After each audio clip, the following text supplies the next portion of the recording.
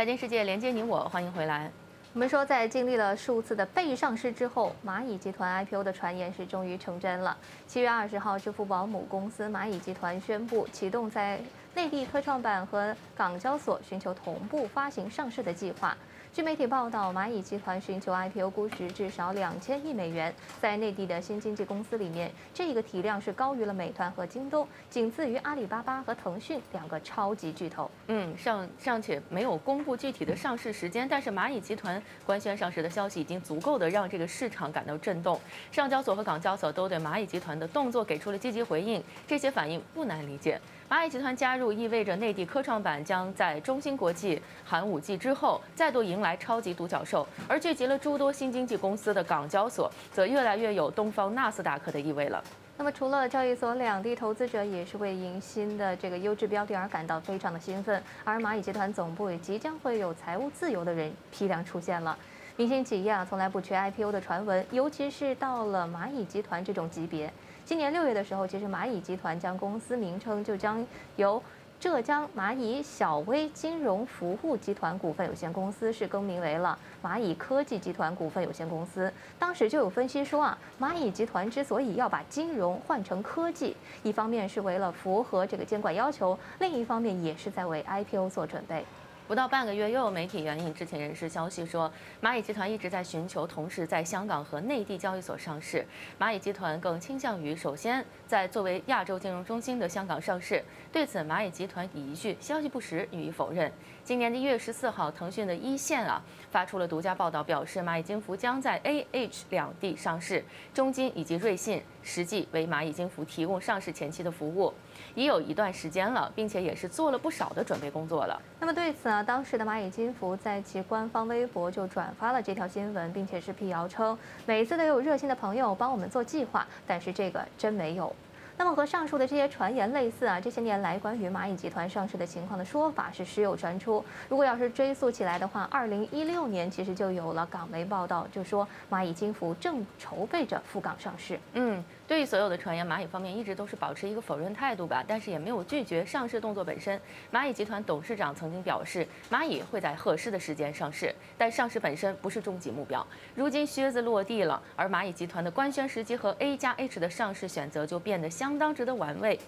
这也是结合了内地科创板和港股近来发展状况来看的。嗯，尽管这个只有开板一周年啊，但是这个内地的科创板已经是迎来了超过一百三十家科创企业，其中是不乏像中芯国际啊、寒武纪啊这样的一些备受瞩目的明星企业。那么京东数科也正式要赴科创板来上市，国际竞争力可谓是与日俱增。而在二零一八年改革上市制度之后，港交所吸引来了小米啊、美团呐等等这些新经济公司，并且也是迎来了阿里巴巴、网易、京东等知名中概股回港二次上市，科技含量是大大提升。以前内地科技企业呢，之所以要远赴纳斯达克，既有上市制度的原因，也有资本吸引力的要考虑。但如今呢，各项的阻碍和顾虑逐渐消散，加上近期的市场热潮，在新的资本环境之下，A 加 H 的优势足以抵消纳斯达克以往的吸引力了。选择离家更近的交易所上市，那蚂蚁集团不仅能够获得充足的流动性和资金程度，还能够享受更高的市值和市盈率。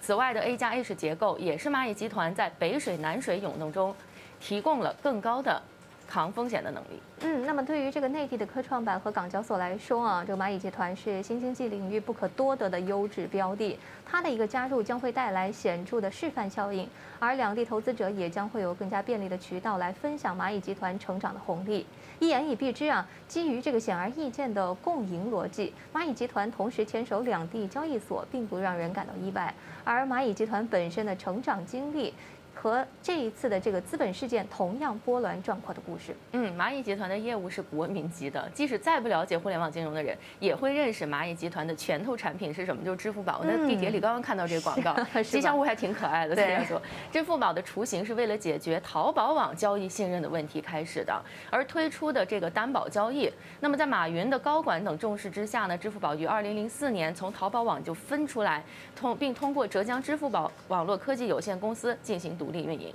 那么在之后的几年当中啊，支付宝是切入了网游、机票、B to C 等外部市场，以及水电煤等公共事业性缴费业务，逐步也是确立下了它电子支付市场的龙头地位，并将业务延伸至了更加广阔的金融服务领域。二零一二年五月，支付宝获基金第三方支付牌照，开始对接基金公司。那么在次年的六月，余额宝是正式上线。由于几乎没有购买门槛，当时这个。呃，货币基金收益也非常的可观，七日年化收益率是一路在走高，在二零一四年一月的时候是甚至达到了百分之六点七六三的一个高点。嗯，在逐渐深入金融服务领域之后呢，一四年十月起步于支付宝的呃蚂蚁金融。服务集团正式成立，并且持续的深耕这个金融和科技领域，布局消费金融、微信体、征信体系以及保险产品，还有 AI、区块链等等前沿技术。发展到今天呢，起家的产品支付宝已经成长为拥有十一亿用户的超级 APP 了，并在支付领域占得超过百分之五十的市场份额。蚂蚁集团形成了包含支付、理财、微贷、保险、信用、技术输出等六大业务板块的超级独角兽。哎，发展金融和科技的同时啊，蚂蚁集团的一个融资历程也是在持续的进行当中。在股权结构上，马云持有蚂蚁集团约百分之八点八的股份，并拥有百分之五十的表决权。而福布斯全球实时富豪榜七月二十号的数据显示，马云的身家为四百一十五亿美元。随着蚂蚁集团上市，马云的身家有望继续上涨。除了这个体量大，蚂蚁集团盈利能力也同样引人注目。早在完成 B 轮融资时，蚂蚁集团就已经是有三年盈利，符合了 A 股。A 股的主板上市条件，这其实，在新经济公司里面是并不多见的。嗯，根据阿里巴巴最新的财报呢，在截至到二零二零年三月三十一日止，十二个月期间的数字金融服务贡献了蚂蚁集团总收入百分之五十以上。该项业务主要包括了理财、微贷和保险三个类别。不过呢，呃，随着蚂蚁集团的更名和上市，科技将在其收入结构中扮演更加重要的角色了。六月，蚂蚁集团的 CEO 在接受彭博采访的时候表示，作为一家科技公司，预计未来五年。年蚂蚁收入百分之八十都会来源于技术服务的。尽管啊是拥有令人羡慕的体量和吸金能力，但是蚂蚁集团也有不少的烦恼。之所以要在上市之前选择改名，并表态发力技术服务，这个蚂蚁集团金融业务所面临的监管风险，其实就是一个重要的原因了。不仅是这个蚂蚁集团，包括百度、京东等一些互联网巨头，都是在淡化金融，强调科技输出。此前也有传闻说啊，这个蚂蚁集团计划成立新的子公司，申请金融控股公司的牌照，实现金融归金融，科技归科技。嗯，而在集团层面，蚂蚁金服肩负着深呃深化交叉策略的这个重任，抵御呃对外要抵御美团等对手的入侵。而随着上市进程的推进呢，蚂蚁集团在监管层、对手和客户等各方眼里啊，也会愈来愈发显眼呢。各项的呃业务动作也会更加透明。可以预见的是呢，这头大象接下来的每一步都将深深地震动着自身的发展，还有行业的未来。蛰伏了许久之后啊，随着上市计划的落定，蚂蚁集团这一支由 PC 和移动互联网孕育出的超级独角兽，也终于走出了水面。嗯，好，今天非常感谢大家收看我们这一时段的财经世界，就到这里，下期再见。